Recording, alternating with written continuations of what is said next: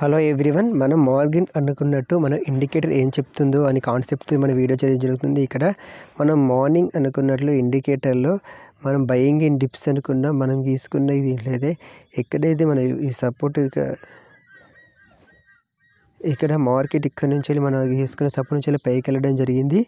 ఇక్కడ మనం అనుకున్నట్లు ఇది గీసుకున్న forty thousand five sixty two నుంచి మనం మార్నింగ్ అయితే గీసుకున్నాం. మనది డ్రా చేసుకున్న మన సపోర్ట్ అయితే కరెక్ట్ అక్కడ నుంచి మనం సపోర్ట్ తీసుకుని మాత్రం పైకి వెళ్ళడం జరిగింది.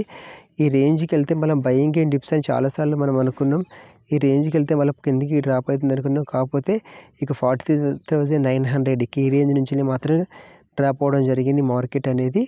ఇక్కడ మనం చూస్తున్నట్టే ఫైవ్ డే కాబట్టి బయింగ్ అండ్ డిప్స్ అనేవి మనం చాలా మనం నమ్ముతుకుని అయినప్పుడు కూడా హైలో మీరు బై చేస్తే లాస్ అవుతారని కూడా అనుకున్నాం. అదేవిధంగా ఎవరైతే డిప్పులో బై చేశారో ప్రాఫిటబుల్లో ఉన్నారో ఎవరైతే హైలో బై చేశారో లాస్ రావడం జరిగింది.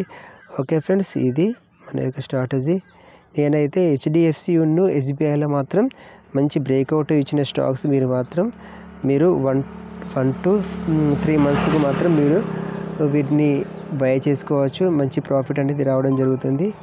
Okay friends thank you for watching. జై హింద్.